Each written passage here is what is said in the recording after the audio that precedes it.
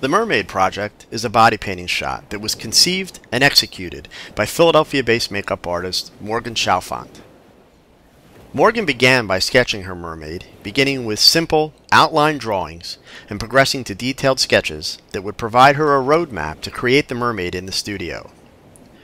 Once she had her mermaid designed, she forwarded me the sketch and I began the search for an appropriate background. We made the decision early in our discussions that we didn't want a Disney-styled mermaid. We wanted a look that was both mythical and grungy, and we decided that the mermaid would be out of water and dragging herself across dry land.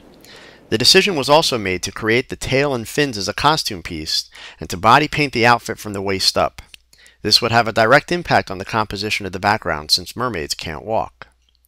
We chose Philadelphia-based model Megan, not only for her petite figure and beautiful face, but also for her composure and patience, as this shot would require about six hours in hair, makeup, and painting, not to mention at least 30 minutes of shooting in a very uncomfortable pose beginning with hair and then makeup and then a combination of body paint and airbrush makeup, Morgan methodically brought the mermaid to life.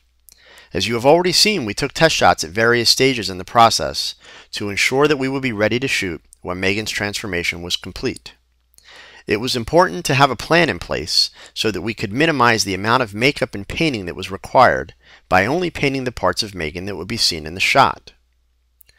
Planning the pose in advance also allowed us to be sure that the pose and lighting would fit well with the background image that we had selected as the setting for the shot, and also to help minimize the time that Megan would have to spend in the pose.